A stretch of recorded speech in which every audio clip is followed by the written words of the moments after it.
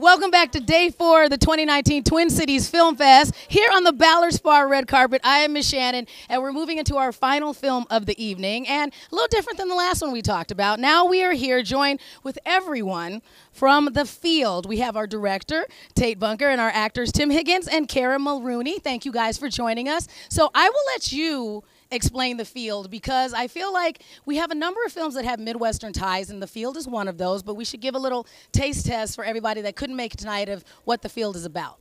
Uh, just real quick, it's a paranormal love story or kind of paranormal Green Acres. Okay. So, uh, you know, a, a, couple to save their marriage uh, sells everything in Chicago, buys a, a organic farm in, in uh, Manitowoc, Wisconsin, and and our, our main character here uh, starts finding kind of eerie things with his camera, and that begins the story. And I have been to Manitowoc, and I was very fascinated with the film because I feel like a lot of the films that are made in the Midwest, we want people to want to come to the Midwest. I am not sure that the film is going to help people want to come here. It's a little, things go a little bit awry. Yeah, yeah. Well, you know what? Farms are creepy, period. you, but it's like if you really want to get into farming, you got to put up with it. And so it's like I think I think this is a great gateway into farming. Okay. Well, when we're talking about your characters and how they are trying to actually reconnect and maybe things don't quite work out, how did you feel playing those characters in the field? Um, it was it was honestly a ton of fun. Um, Tate actually, I just Tim and I just met shortly before filming, um, but we had to be this couple that had been together for years to the point that they had marital stress and problems and almost broke up. So Tate had to start out by dating. We would go we would go on dates. We did a photo booth. Um, uh, so uh, so that was a ton of fun. But yeah, I guess the acting came in when we had to act as though it was not enjoyable. And you had some other, like some of our other like bigger stars that are not Midwestern based, who are in there as well. Like I saw my friend Barry Bostwick in the film yep. as well. Uh, what was it like working with him?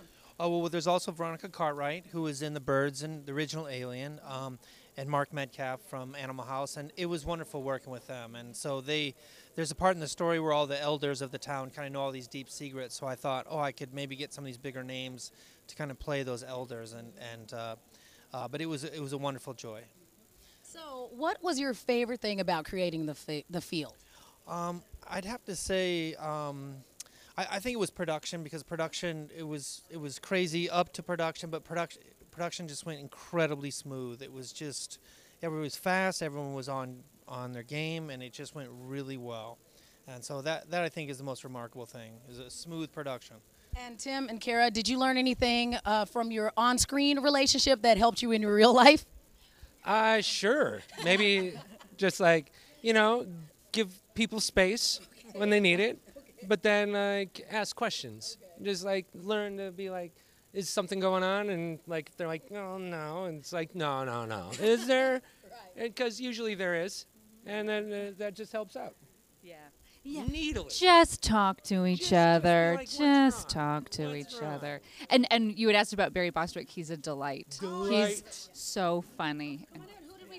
Who did we find? So this is, Daniel Lindsay. So he, he worked on the film as well. So Hi Daniel, welcome, welcome. Scooch on in. Digital, digital prop. He did digital props, which is very important to the. Which I mean, all of these things. We have a number of those. We we do love our spooky style films here in the Midwest. So you help make everything look amazing. Is that was that one of the creepy faces you got to make in the field? Oh, just wait.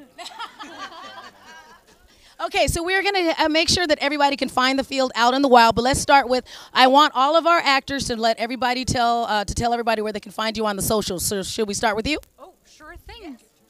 Yes.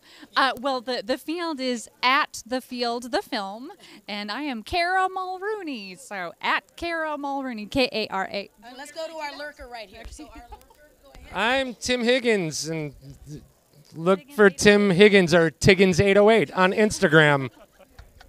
And Tate, we did give out the, the website to the field, but what are your next plans for it other than the Twin Cities Film Fest? Well, the film is, is already had its digital release, so you can find it on many, many platforms. But the e- easiest two is uh, Amazon and iTunes. You can find it if you can't make it today's screening.